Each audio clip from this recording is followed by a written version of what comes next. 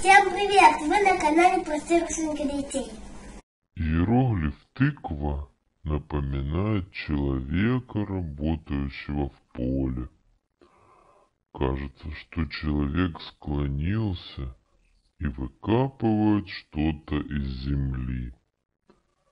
Этот иероглиф также можно встретить в составе других иероглифов. Дыня, огурец, арбуз и другие. Первый